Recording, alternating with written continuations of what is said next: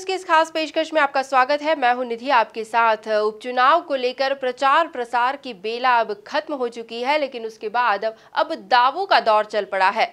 चारों तरफ़ से जीत के दावे सुनाई दे रहे हैं। ऐसे में कहाँ खड़ी है कांग्रेस और कितनी मज़बूत है भाजपा? यही हम जानने की कोशिश करेंगे कि किसके दावों में है कितना दम। तो बीजेपी और कांग्रेस की प्रतिक्रिया यहाँ पर जानने की कोशिश करेंगे। सबसे पहले बात करेंगे कांग्रेस की ओर से नरेंद्र सलूजा जी से। नरेंद्र जी, स्वागत आपका एमपी न्यूज़ पर। और आपसे हम ये जानना चाहेंगे कि अब प्रचार प्रसार के बाद जब दावों का दौर शुरू हो चुका है, ऐसे में कांग्रेस की क्या स्थिति है? कांग्रेस के दावों में कितना दम है?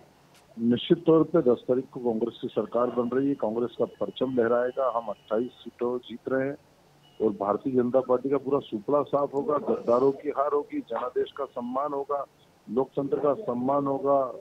टिकाऊ जीतेंगे बिकाऊ हारेंगे वफादार जीतेंगे गद्दार हारेंगे हारेंगे लोकतंत्र जीतेगा नोटतंत्र हारेगा ईमानदार जीतेंगे बेईमान हारेंगे धर्मी जीतेंगे अधर्मी हारेंगे सत्य की जीत होगी असत्य की हार होगी तय है।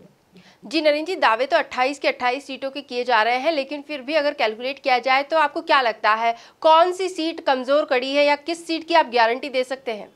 हम तो 28 सीटों की गारंटी दे रहे हैं कि हम 28 सीटें ही जीत रहे हैं। हम तो एक भी सीट ऐसी नहीं मार रहे जिस मान रहे हैं जिसको कांग्रेस हारने वाली माने। हम तो 28 के 28 सीटें जीत रहे हैं। हाँ भाजपा को ज़रूर बताना चाहिए कि वो कौन सी सीट जीत रही है। वो तो एक सीट जीतने की स्थिति में भी नहीं है। तो, तो बताएँ भाजपा। जी।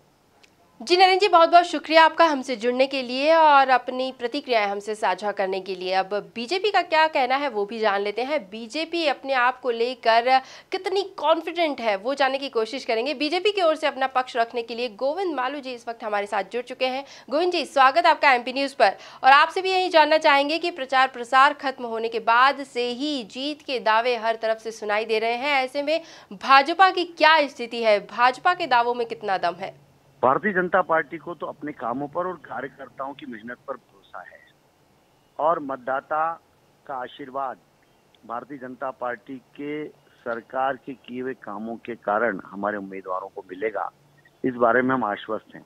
और हम, हमारी मतदान केंद्र की इकाई को हम परिपुष्ट और बहुत सुगठित करके हमने रखी है, और उसी को केंद्र मानकर हम तो तमाम अभियान हमारे आंदोलन और कार्य पद्धति हम उसी के माध्यम से चलाते हैं। इसलिए हमारा मतदान केंद्र मज़बूत है तो हमारा बूथ मज़बूत है तो हमारी जीत मज़बूत है।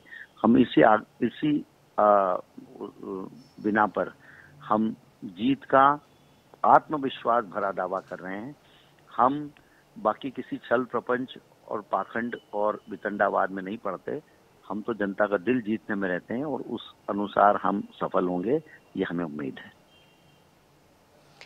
जी गोविंद जी, बहुत बहुत शुक्रिया। धन्यवाद आपका हमसे जुड़ने के लिए। तो बीजेपी हो या कांग्रेस, हर एक पार्टी मजबूती से खड़ी है और अपनी अपनी जीत के दावे कर रही है। लेकिन जीत का सहरा किसके सर बंधेगा? जनता किस पर भरोसा जताएगी? मुकाबला है बड़ा दिलचस्प। इससे जुड़ी हर एक अपडेट हम आप तक पहुंचाते रहेंगे, लेकिन इस खास पेशकश में फ़िलहाल इतना ही। अन्य खबरें एमपी न्यूज़ पर लगातार जारी है। आप भी बने रहिए हमारे साथ। देखते रहिए एमपी न्यूज़। धन्यवाद।